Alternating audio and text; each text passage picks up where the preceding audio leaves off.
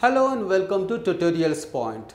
Today in search engine optimization we will discuss about robots meta tag. What robots meta tag is all about, why we need to use robots meta tags and what are the different types of robots meta tags and the resources as well. Let's get started with it. What basically is robots meta tag? Robots meta tag is basically a text file made available on the server primarily to tell search engines to what to index and what not to index. It is basically a text file of a few lines, about 3 to 4 lines of course depending upon the requirements. What basically robots meta tag is done is it is actually created by the website owner and the the file, the text file robots.txt file is uploaded to the server as well as may also be submitted to Google through the Google search console to inform and to notify Google the search engine what are the pages that need to be crawled, what are the pages that need to be indexed and what not to be indexed. You can specify both of them ensuring that you know Google is informed about it and when Google crawls and indexes pages of your website, it takes notice of the contents of this text file and does the crawling and indexing accordingly. Let us get started with it and see what basically are allow all access robots.txt meta file looks as well. This is actually a two lined file robots.txt file where a user agent basically means it is actually the search engine bots the search engine crawlers, the search engine spiders. When you specify an asterisk or a star, it means that you are not specifying any particular search engine's name. It can be a Google, it can be Yahoo, it can be a Bing or it can be any other search engine. By specifying an asterisk or a star, you are mentioning that you know the site is open and available for crawling and indexing by all the search engines.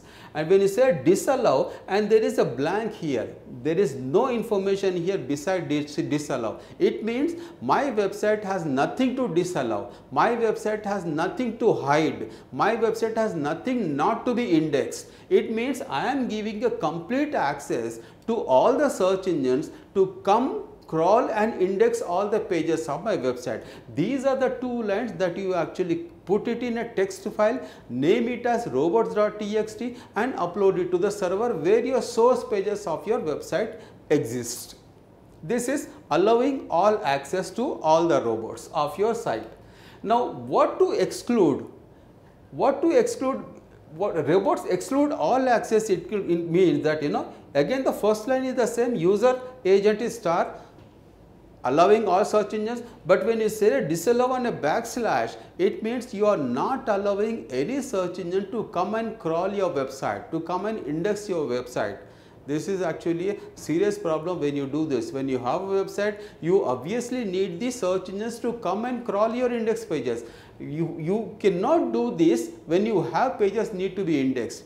There is a practice that users most of them website publishers owners or developers do is when they are building the website. When they are building the website and when the site is live on the domain and still under construction what you can do is you can give this tag so that the, the under construction pages will not be indexed by Google.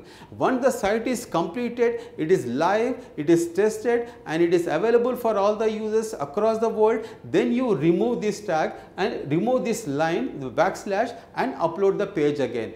This can be used only when website or a web application or a web portal that you are building is under construction, it is live on the domain and is still under testing, it is not complete. But once it is completed, you can remove this backslash and upload the file again. This actually what robots exclude all access is concerned. Robots restricted access.